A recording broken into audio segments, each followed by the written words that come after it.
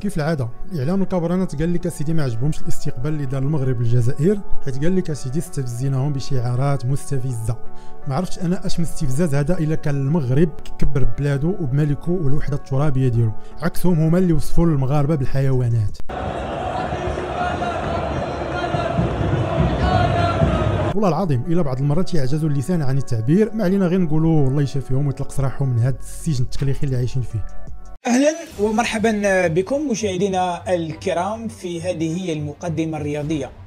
شتان بين استقبال كبير بمطار هواري بومدين الدولي بالورود والتمر واللبن مع تخصيص مساحة حتى للاعبين لإقامة الصلاه تسهيلات جمركية وتعزيزات أمنية مشددة على طريقة المواكب الرسمية لتحظى بها كبار الشخصيات.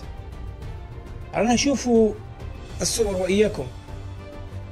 يقال أن الصورة خير من ألف كلمة. الصورة هي اللي تهدر مش إحنا صحيح كان الاستقبال هناك في مطار وجدة بالمغرب داخل المطار. كان بالمثل بالورود واللبن والتمر. نحن الإعلام الجزائري نتحدث الحقيقة كما هي. لا نزيفها ولا ننقص منها ولا نزيد عليها. ما نزيدوش عليها. لكن لماذا تم الاستعانة بمجموعة من المناصرين التي كانت تردد الشعارات السياسية البعيدة كل البعد عن أخلاق الرياضة؟ ما تقوليش جو وحدهم لأنهم مادام وصلوا حتى مكان خروج اللاعبين هناك من ساعدهم أو وجههم وساعدهم للوصول هناك. نشاهد هذا الفيديو.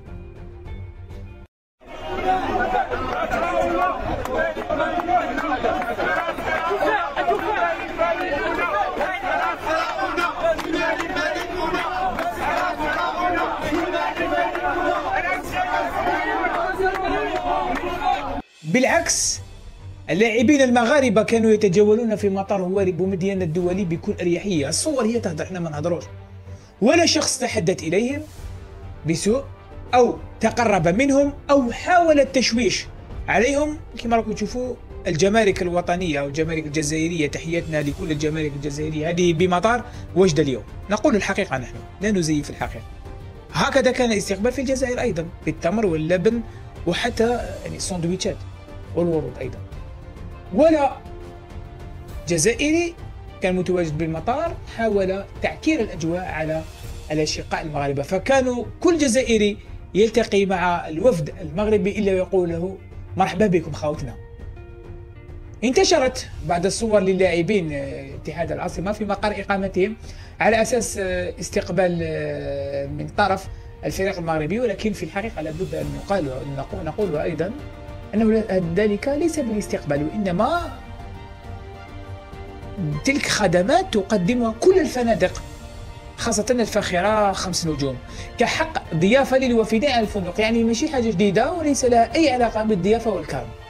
يعني أي فندق تروح له في العالم يكون من خمسة نجوم فما فوق يخصصون لك ذلك الاستقبال.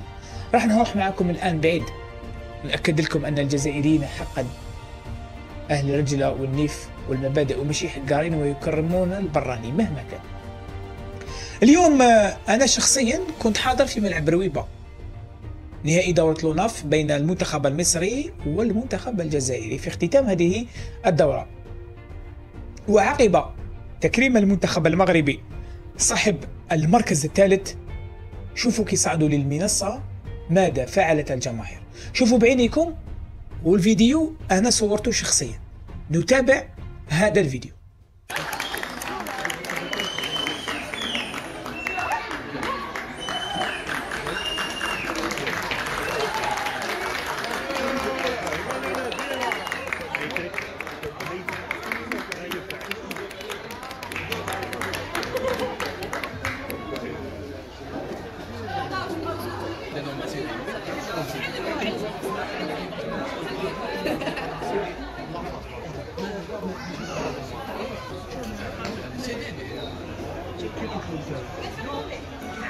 يعني متعجب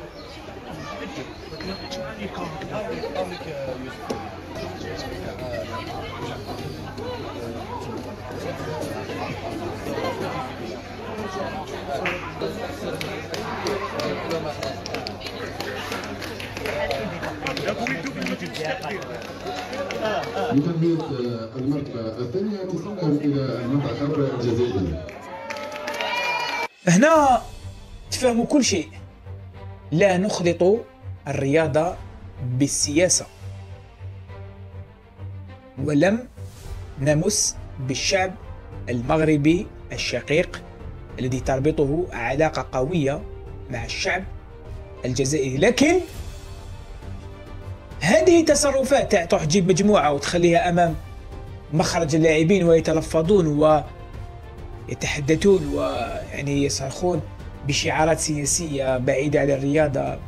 الأمر هنا يطرح علامة استفهام لأنكم منذ وصولكم إلى الجزائر لغاية خروجكم وعند تواجدكم بالمطار وعند تواجدكم بالفندق ولا شخص يمكنه أن يتقدم إلى الوفد المغربي لأنه قضية بالأمن والأمان وللإشارة كما قلنا أنه آه، تلك المجموعة كانت حاضرة بمطار وجدة.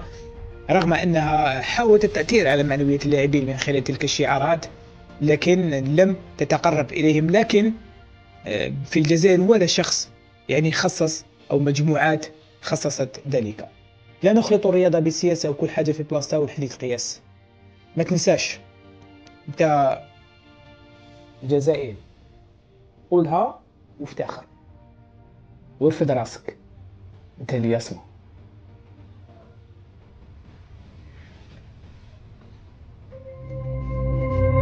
زيرتوب أول قناة إلكترونية في الجزائر.